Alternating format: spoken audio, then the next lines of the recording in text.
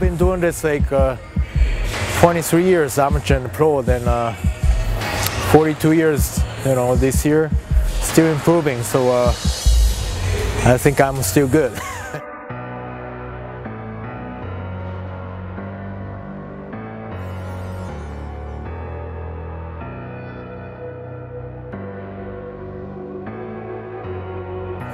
then uh, lots of people ask me, you know, 20, 20 something years, like 70, 80 shows in my life. So, you know, how you, how you keep motivated, motivated, you know, how you keep, you know, pushing in the gym, outside the gym, you know, how you keep dieting.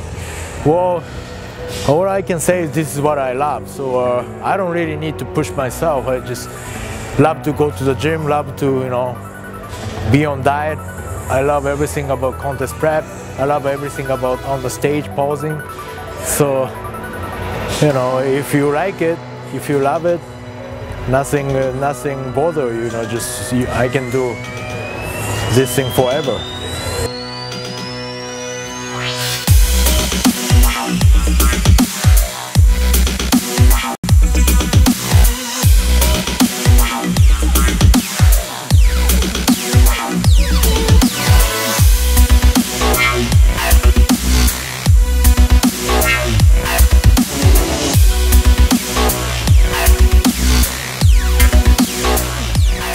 I say, I, I'm 42, but still improving.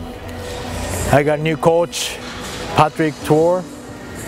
Then uh, we are very exciting to go to Arnold, Ohio, which is in next March. So I got a couple months off, then uh, start training hard, sometimes in November. So I'm sure I can improve some more on that stage. So watch out and uh, stay tuned. Me and Iron Man magazine. Peace out.